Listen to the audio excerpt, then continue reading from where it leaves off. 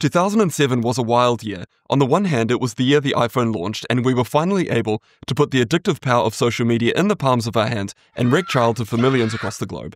On the other hand, there was some shocking news that came up from a study published in one of the most respected journals dealing with hormone related issues.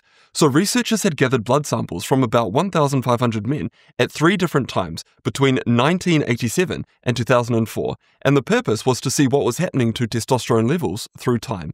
So, testosterone naturally naturally drops as we age, and in men, when we reach the age of about 30, levels decrease by about 1 to 2% per year on average, and this pattern is well established and it isn't necessarily a problem, it's just part of getting older. But there was some evidence that something else might be going on. Not only were testosterone levels declining with age, but it also appeared that they might be declining with each new generation as well. It appeared that something in our environment might be attacking testosterone and driving levels down. And this isn't just a matter of low sperm counts and poor sexual function. So, low testosterone, it also weakens bones, it decreases energy, and it depresses mood. And it's linked to elevated all cause and heart disease related mortality. So, researchers were compelled to figure out if this testosterone decline was actually real, and if so, what was causing it. So, they started to look at what was happening to testosterone levels outside of the USA. So, a large population study in Denmark, it also uncovered falling levels. So too did a study in Finland, and a more recent study again in the USA found that the trend continues. So far, then, we've got multiple different studies in multiple different countries suggesting that testosterone levels are indeed falling. It appears to be a worldwide issue. But here's the real puzzler why on earth is this happening? And it's been a matter of huge debate.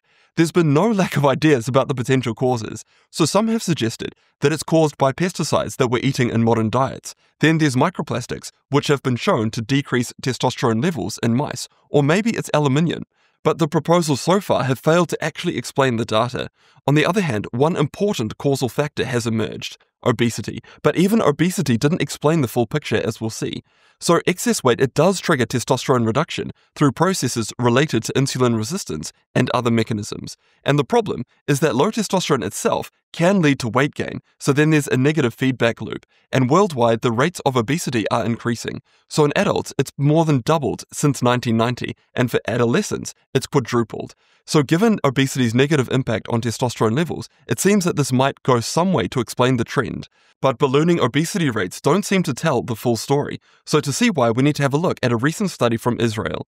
So, researchers analyzed the testosterone levels found in tests that were given to over 100,000 men between 2006 and 2019. So, in line with the current trend that we've been talking about, they also saw a population wide fall in testosterone levels. But there was something interesting in the data.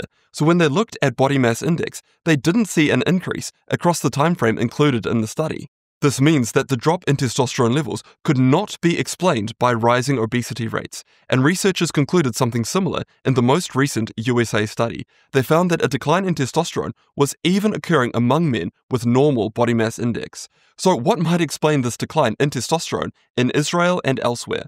Well, a new analysis gives us a completely unexpected answer. The authors of this new analysis, they were interested in a key issue lying in the background of the discussion about falling testosterone. And the issue concerns about how testosterone levels are actually measured. So this has been highlighted before. Researchers behind a 2020 study, for instance, they noted a potential problem lurking here. After reporting that testosterone levels are declining, they include an important qualification. So the data that they rely upon includes different measures for measuring testosterone levels. But why might that be an issue?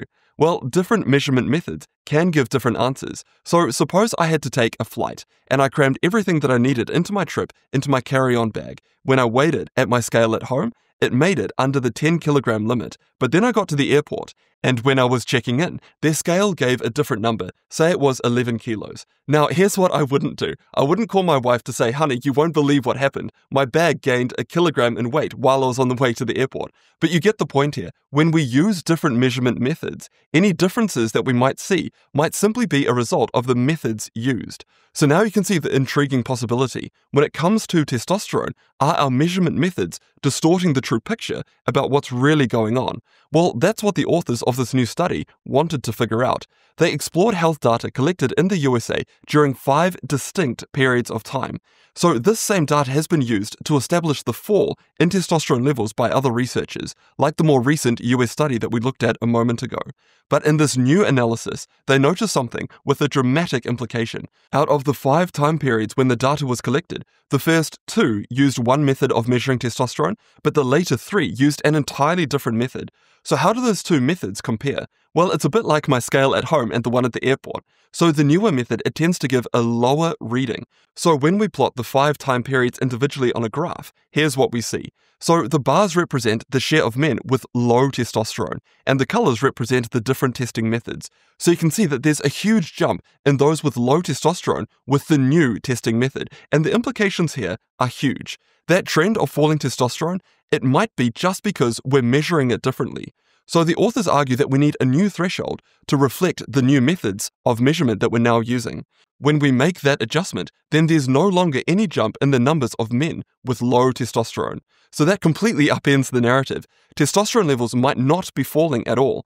In fact, if you look at the chart, you can see that the percentage of men with low testosterone is actually falling over the last three measurement periods.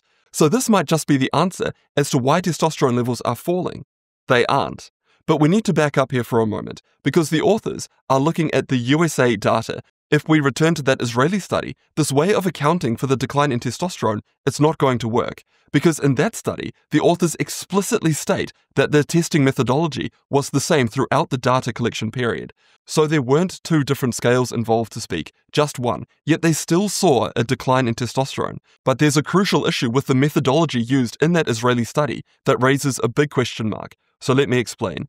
The men included in that study, they had their testosterone levels tested because they were referred by a physician. In other words, after consulting with their doctor, it was recommended that they got a test. So why might that be an issue? Well, because we're only going to end up testing men when their doctor suspected that they already had low testosterone. So the pool of people that we're looking at is consistently going to include those with existing concerns of low testosterone. So it's not going to truly represent the general public. So there's at least a big question mark when it comes to that study in Israel. But the big key takeaway of the story here is this that the thesis of testosterone falling is at least in doubt we might soon come to realize that the whole panic has been based on a simple problem with how we've been measuring testosterone.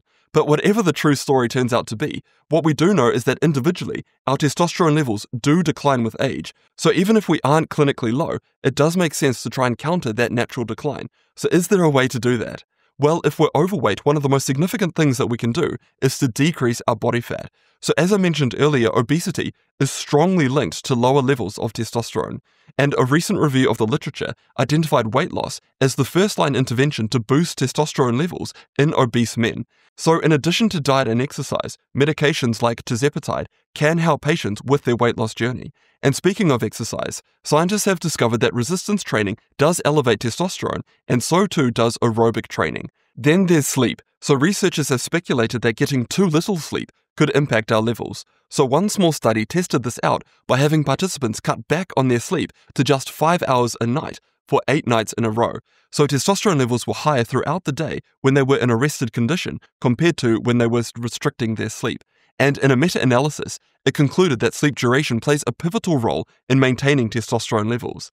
So now my patients sometimes ask me about supplements for boosting testosterone, and there are some supplements out there with study evidence to back them up. So betaine or TMG, for instance, does have some evidence. So a study in soccer players who supplemented with TMG found increases in testosterone levels during a season compared to the placebo group, and a similar study with participants taking TMG who followed an exercise protocol also saw improvements in their testosterone levels over and above the placebo group. That research is one of the reasons why I take TMG myself as part of microvitamin, but just because I take a supplement does not in any way mean that you should as well. So, here are four things to explore to support healthy testosterone levels weight loss, exercise, adequate sleep, and if you really wanted to explore supplements, TMG does have some evidence. But if you're interested in the study data on other supplements that have been shown to raise testosterone, make sure to check out this next video here.